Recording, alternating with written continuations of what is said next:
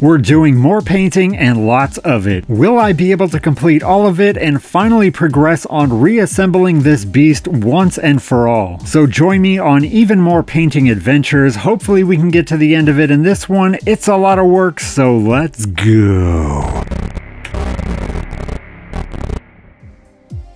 After the massive amount of paint inventory woes in the past episode, here it is, folks the holy grail of gray paint.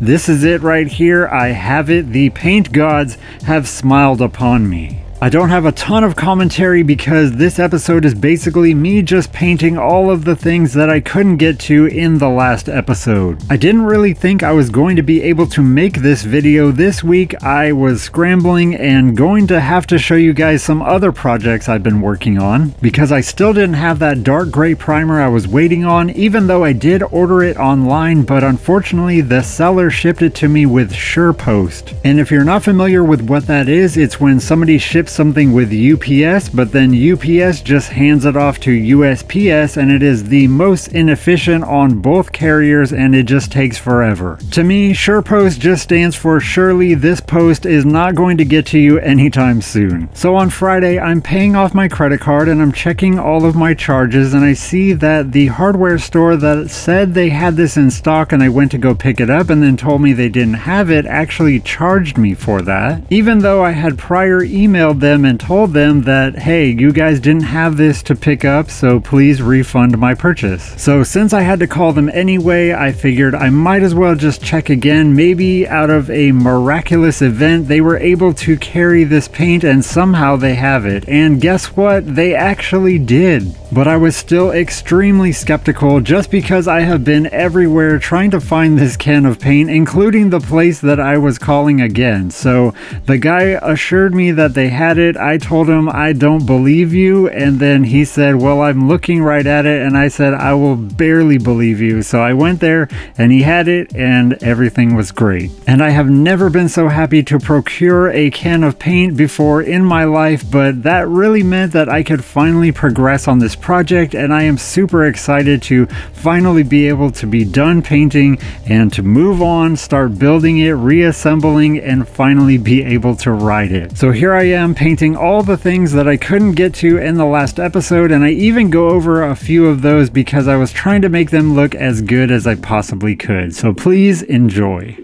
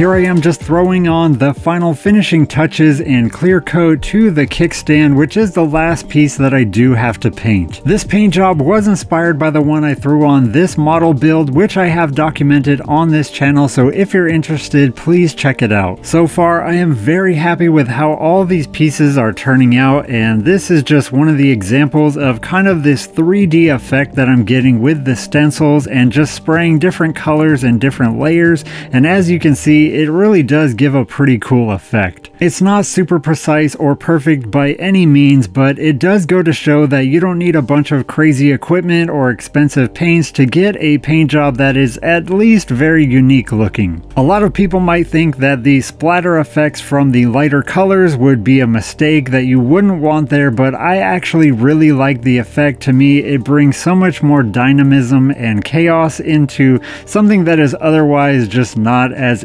interesting. I think it looks really cool. I don't go into any of these paint jobs knowing what I'm going to do or where I'm going to lay these stencils. It all just kind of happens in the moment and you're going to get some areas that look way better than others and that's just part of it. The other cool thing about camouflage patterns is that if you don't like a portion of it, you don't have to start over and redo everything. You can just layer up and go over that part you don't like until you make it how you want it. I am really happy with how this paint job came out. It really couldn't have come out that much better. I could have spent so much more time trying to nitpick all the little pieces I didn't exactly like, but I think overall it came out really, really good. A big part of me wanted to leave the frame exactly how it was and just clear coat over it, almost like a patina where you could see all the welds and the heat zone from the welds. I thought it looked really cool just like that, but I really wanted to finish this one off. I'm definitely going to do a build where I show things and have it look a lot more raw. I do like that look as well.